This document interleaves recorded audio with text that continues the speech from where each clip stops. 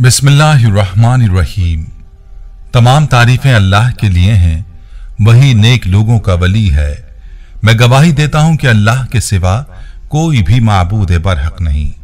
वो यकता है, उसका कोई शरीक नहीं। और मैं ये भी गवाही देता हूँ कि हमारे नबी मोहम्मद सल्लल्लाहु अलैहि वसल्लम अल्लाह के बंदे और उसके रसूल हैं। या अल्लाह, इन पर, इनकी आल और तमाम साहबा किराम पर रहमतें, सलामती और बरकतें नाजिल फरमा।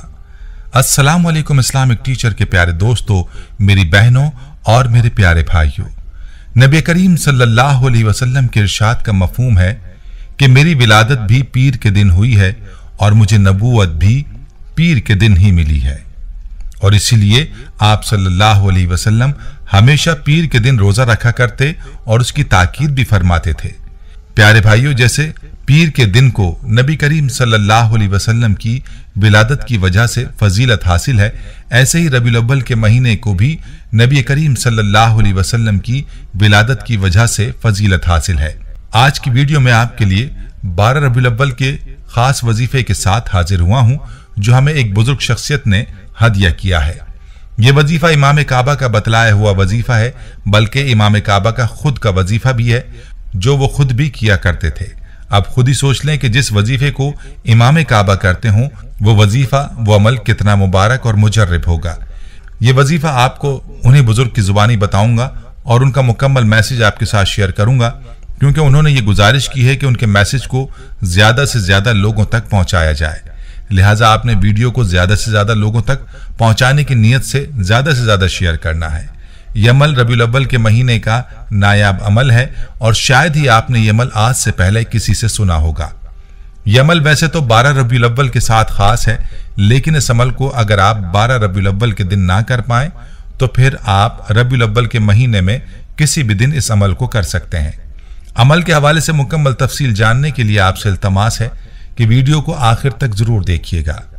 प्यारे भाइयों, चलिए बगैर किसी ताखीर के आपको उन बुज़ुर्ग का मैसेज सुनाता हूँ, जिसमें उन्होंने अमल का तरीका बतलाया है। आपने मुकम्मल गौर से ये मैसेज सुनना है, ताकि आप अमल का तरीका सही तरह समझ सकें। ये बुज़ुर्ग अपने मैसेज में यूँ रकम तराज होते हैं, मोहतरम इस्लामिक टीचर वालेकुम। अल्लाह के फजल करम से आप खैरियत से होंगे। अल्लाह ताला से आपकी सेहत याबी के लिए दुआ गो हूँ। अल्लाह ताला आपको सेहत और खुशियाँ दे और कदम कदम पर कामयाबियाँ अता करे। आमीन। आपके चैनल की वजह से मेरी ज़िंदगी ज़िक्र और आमाल वाली बन गई है। इस्लामिक टीचर मेरी उम्र साठ साल के करीब है। मैं अल्हम्दुलिल्लाह आलिम हूँ। मैं बारह साल का था। उस वक्त मेरे उस्ताद मोहतरम ने मुझे एक अमल सिखाया था और बताया था कि यह अमल उनके उस्ताद को इमाम काबा ने बतलाया था। और इमाम काबा भी हर साल इस अमल को बारह रबी अव्वल के दिन किया करते थे। और मैं भी बारह साल की उम्र से अब तक ये अमल करता हूँ और पाबंदी के साथ करता हूँ। और कई लोगों को बता चुका हूँ। इस अमल की बरकत से मुझे ऐसी दौलत हासिल है कि जिसके बारे में मुझे इल्म नहीं है कि कितनी है किन किन बैंकों में है। और जिस भी हाजत या मकसद की नीयत से इस अमल को करता हूँ, वो पूरा हो जाता है। इस अमल की बरकत से जो इज़्ज़त और शोहरत अल्लाह पाक ने मुझे अदा की हुई है, वो अल्फाज में बयान नहीं कर सकता। हर साल मैं अल्लाह के फजल से हज करता हूँ और दुनिया के अक्सर ममालिक का सफ़र कर चुका हूँ और कई ममालिक में कारोबारों में भी शेयर्स हैं। पूरे साल में एक बार ये अमल करता हूँ और आज इस्लामिक टीचर के तवसत से मैं ये अमल आपको भी हदिया कर रहा हूँ। इस अमल को 12 रबी अव्वल के दिन लाजमी कर लें। अगर 12 रबी अव्वल के दिन ये अमल रह जाए तो फिर रबी अव्वल के महीने में किसी भी दिन आपने ये अमल कर लेना है। अमल यह कि आपने 12 रबी अव्वल के दिन जहर की नमाज़ के बाद चार रकात नवाफिल इस तरीके से अदा करने हैं कि हर रकत में आपने सूर्य अखलास तीन मरतबा पढ़नी है।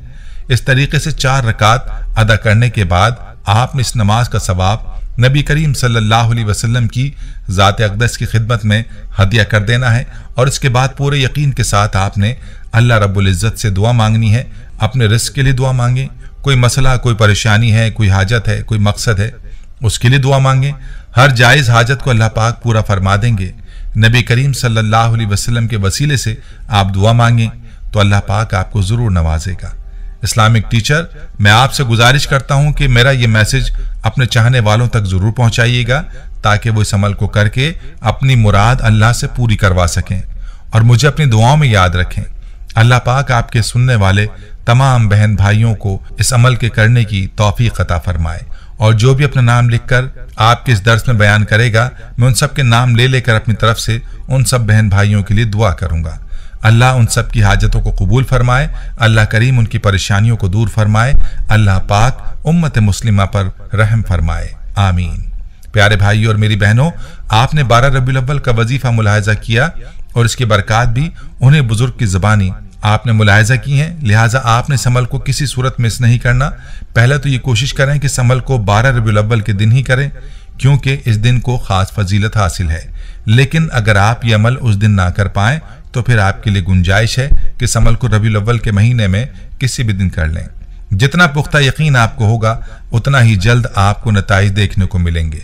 याद रहे कि सूर्य अखलास जो इस अमल का हिस्सा है, इसके बड़े फजाइल और बरकत हैं और इसके बहुत से फजाइल जो अहादी से नबविया में बयान हुए हैं, यहाँ आपको चंद फजाइल बताते हैं।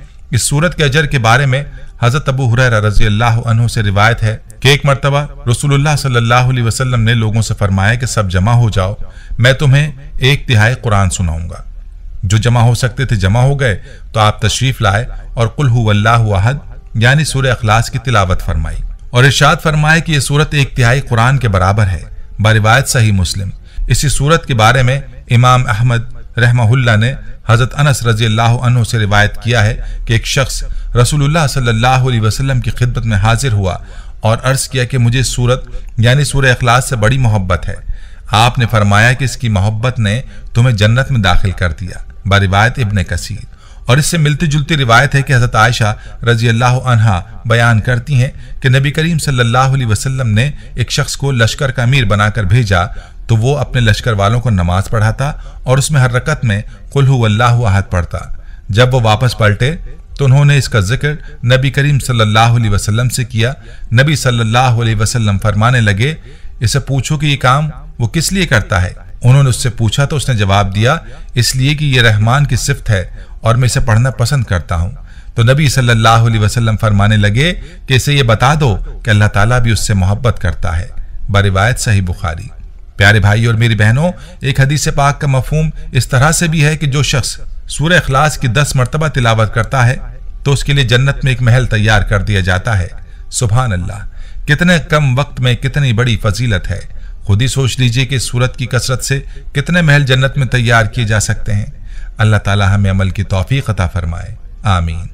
प्यारे भाइयों, हम ये उम्मीद करते हैं कि आपको हमारी आज की ये वीडियो ज़रूर पसंद आई होगी। अगर आपको हमारी आज की ये वीडियो पसंद आई है तो आपसे गुजारिश करते हैं कि आप हमारे चैनल इस्लामिक टीचर को ज़रूर सब्सक्राइब कर लें और साथ ही लगे बेल के बटन को भी प्रेस कर लें, ताकि आपके पास हमारी आने वाली मजीद मालूमती वीडियोज़ का नोटिफिकेशन बर वक्त मिलता रहे। सब्सक्राइब के साथ साथ हमारी वीडियोस को लाइक भी करें और अपनी कीमती राय का इजहार कमेंट्स में ज़रूर करें। कमेंट्स में आप अपने सवाल भी हम तक पहुँचा सकते हैं। अल्लाह ताला आपको अपने हिफ्सोमान में रखे। आमीन।